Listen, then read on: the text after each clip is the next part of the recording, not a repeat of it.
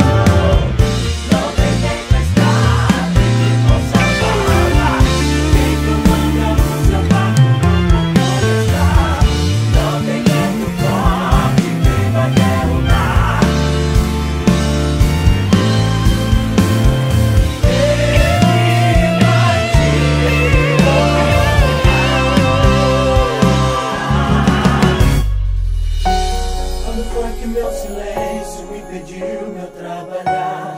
Eu repreendo o vento e acalmo